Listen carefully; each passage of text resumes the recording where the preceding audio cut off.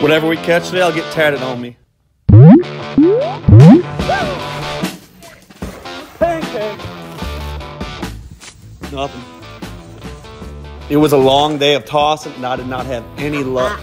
And after two hours of catching nothing, it was looking pretty dismal. Empty net syndrome. Do you need me to show you how it's done?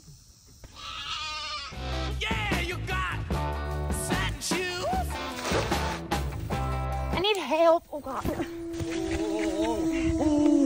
She brought in a baby gator. Of course, it was on accident, but this little swamp puppy's not happy, so let's turn him free. Luckily, popped right out the net, and it was all good. Classy. See ya, buddy. There's a couple more babies. Guessing that's the mother. Got a family reunion going on in my backyard. Let's get out of here.